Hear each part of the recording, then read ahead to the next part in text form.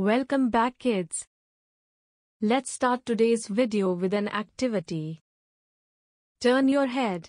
Can you turn it up and down, left and right? Swing your arms. Can you rotate your arms in all directions? Lift your leg. Can you move your legs in circles? Bend your arms and legs. In which directions can they move? Wriggle your fingers and toes. How do they move? You can turn your head and move your arms and legs because these body parts have movable joints. A joint is where two or more bones meet. There are different types of joints.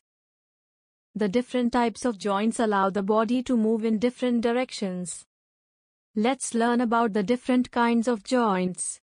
The ball-shaped end of one bone fits into the cup-shaped socket of another bone to form a ball and socket joint. A ball and socket joint allow movement in many directions. Back and forth. Side to side. Circular movements. Examples of ball and socket joints are hip and shoulder joints. You all must have seen the door hinge that allows back and forth movements of the door. A hinge joint is similar to it. A hinge joint allows back and forth movements.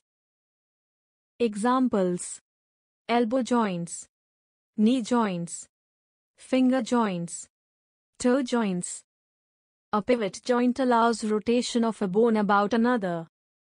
Neck joints is an example of pivot joint.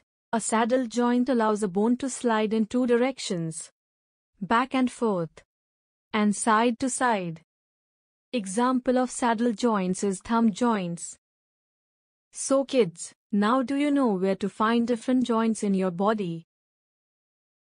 This brings us to the end of the video.